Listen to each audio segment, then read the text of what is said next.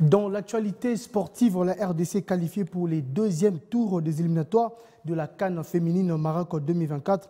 Les léopards dames de la RDC ont arraché les tickets qualificatifs pour les deuxièmes tours des éliminatoires de cette compétition féminine Maroc 2024 en battant mardi les Amazones du Bénin. Les Congolaises ont une nouvelle fois dominé les Béninoises sur les mêmes scores des deux buts à un au stade de l'amitié des Cotonou. Les léopards dames de la RDC ont réussi à inscrire deux buts à Merveille Kajinga et Naomi Kaba Kaba toutes nos félicitations aux léopards dames de la RDC.